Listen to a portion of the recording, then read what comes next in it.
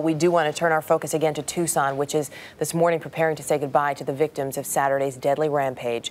A mass is planned for this evening. President Obama will attend a memorial service tomorrow.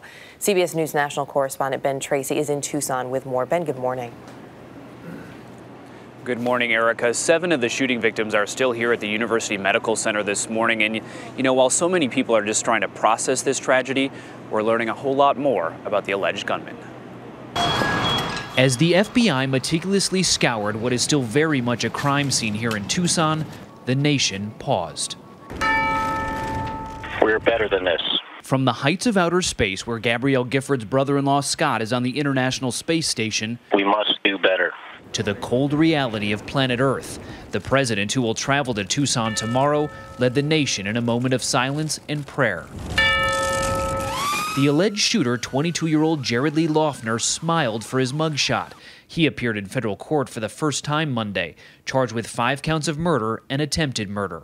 He was not on the same level as everyone else. Former classmate Stephen Cates says Loughner was a loner and mentally unstable. He feared Loughner would bring a gun to class someday and shoot everyone.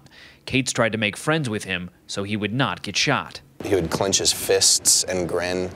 Um, during random times throughout class, he would just laugh to himself. Perhaps even odder is the makeshift altar with a skull discovered in Loughner's backyard. A guy came to the uh, Safeway and started shooting. Authorities tell CBS News that Loughner's attack on Congresswoman Giffords was not partisan, but more likely because he was anti government in general, and she was a symbol of it.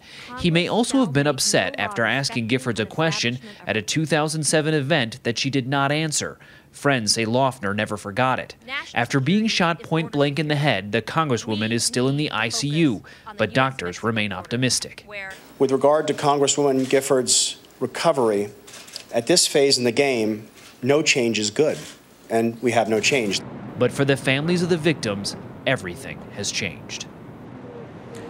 Now, President Obama is set to arrive here late tomorrow afternoon. He's set to meet with some of the families of the shooting victims and then possibly attend a memorial service that is being held tomorrow night at the University of Arizona.